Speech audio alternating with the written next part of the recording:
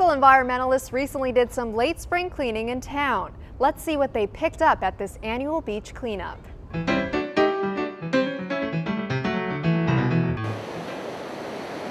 El Segundo Beach is a playground and place of relaxation for many, so keeping it clean doesn't feel like a chore, and it's easy. Grab a, some plastic gloves, a bag, and a gripper or two, and just go out and walk the beach and pick up whatever you see.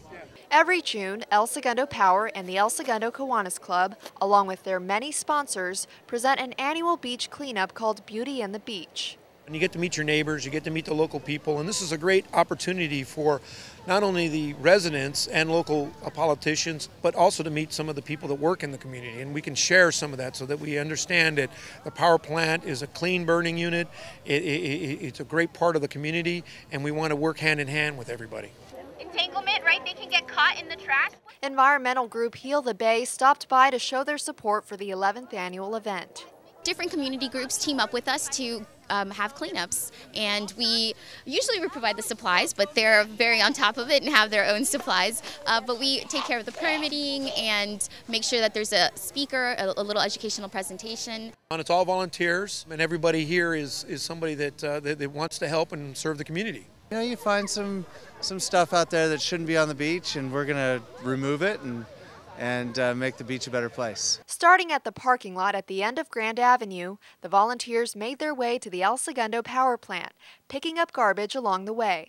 My three sons, Jonathan, Nicholas, and William, are here and we're uh, getting ready to go walk down the beach and pick up some trash. And the ocean is a big part of California culture, so it's amazing for people to come out and clean up the beach, pick up trash. Fortunately, there's not even that much trash, so I think that says a lot about the area, but the little stuff I think we're picking up.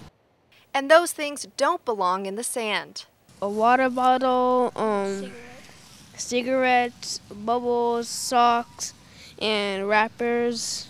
We found a lot of lollipop sticks and Legos even. And putting those things where they do belong makes the beach more enjoyable for all.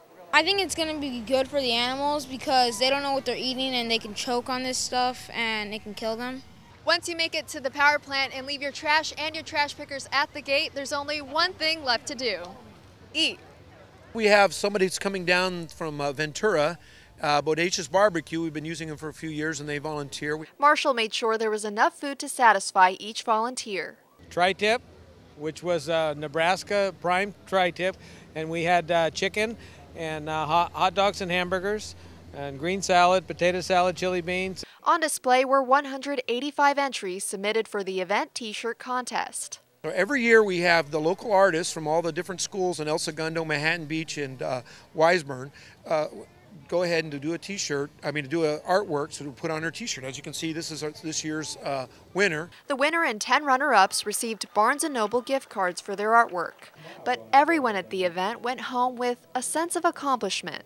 I think we picked up quite a bit of trash, and I think it's important for the kids to know um, about giving back to the community. We were completely loaded down with food, and there's nothing left. All the food devoured and all the trash out of the sand, the beach cleanup looked like an all-around success. For El Segundo TV, I'm Catherine Chen.